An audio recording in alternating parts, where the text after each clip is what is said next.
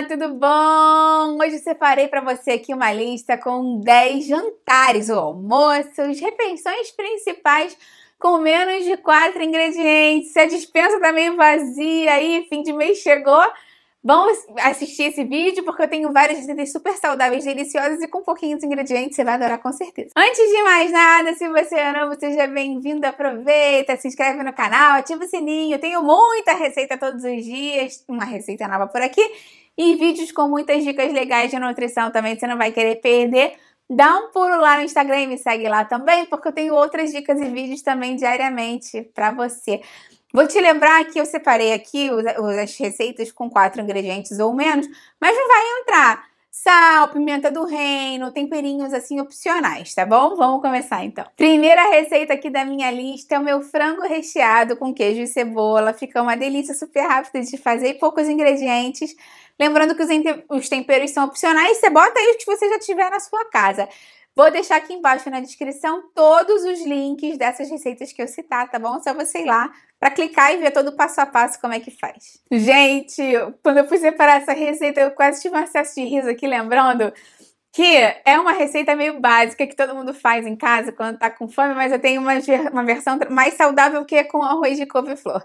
Aí falaram assim, é aquele clássico russo, roscovo, porque é arroz com ovo. Adorei isso. Mas essa é minha receita, então, no caso, com arroz de couve-flor. Vou deixá-la aqui no passo a passo. Se você quiser usar o arroz que sobrou aí, melhor ainda, né? Não vamos jogar nada fora.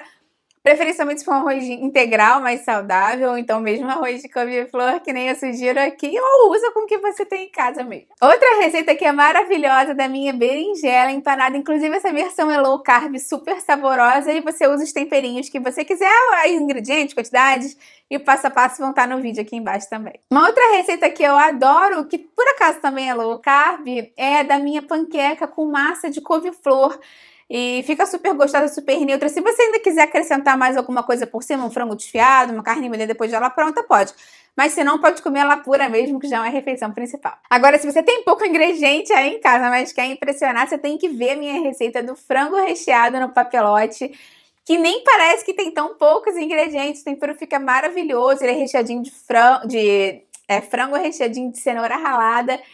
É um sucesso, você vai amar com certeza. Tenho também aqui uma fritada com tomate, com cebola, que vai refogado, que dá um gosto especial.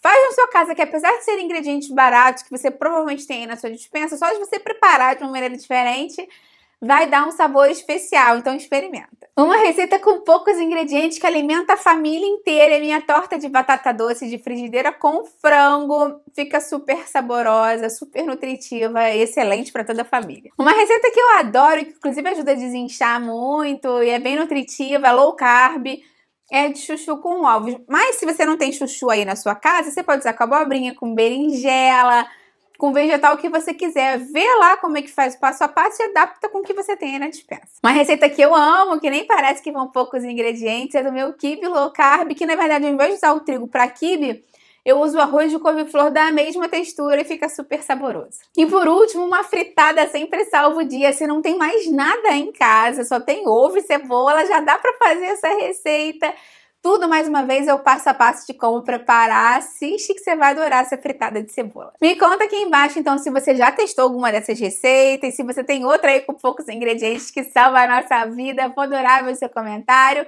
Dá sua curtida no vídeo que isso me ajuda muito e compartilha com quem precisa de inspiração. Vamos juntos ampliar essa corrente do bem, que é isso que eu mais quero aqui com o canal. Até a próxima, tchau, tchau!